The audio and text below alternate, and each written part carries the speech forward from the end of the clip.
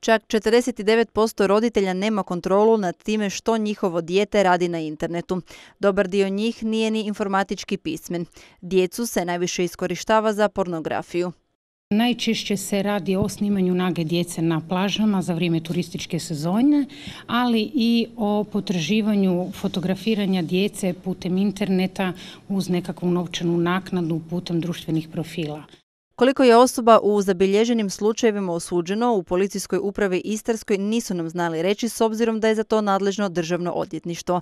Počinitelji se ne razlikuju bitno od ostatka populacije i vrlo ih je teško prepoznati, pa je savjet policije da o potencijalnim opasnostima roditelji razgovaraju s djecom jer smo vidjeli da su zapravo e, profili mjesta na kojima se izvršavaju takva kaznena djela gdje se od osoba traže da se fotografiraju nekad za uzvrat nude ili bon za telefon ili novčanu naknadu.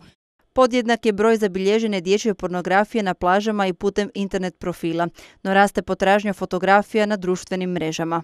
Kad govorimo o snimanju na plaži, onda su to uglavnom strani državljani koji dolaze ovdje za vrijeme turističke sezone, a kada govorimo o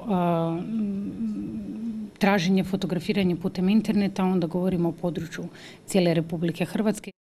Osim što djeca na internetu mogu lako postati žrtve, evidentna su sve češća vršnjačka nasilja među djecom i mladima putem interneta.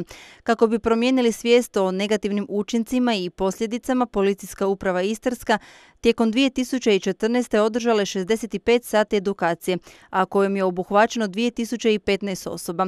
Edukacije su održane u školama diljem Istre. Nastojimo promijeniti svijest mladih ljudi, znači e, učenika viših razreda osnovnih škola o tom njihovom neprimjernom ponašanju i koje posljedice ono može prouzročiti znači za daljnji razvoj e, mladih ljudi e, i pojašnjavamo im pravila ponašanja na internetu. Povodom obilježavanja dana sigurnih interneta, policijska službenica odjela maloljetničke delinkvencije Policijske uprave Istarske sutra će održati predavanje učenicima pulskih srednjih škola.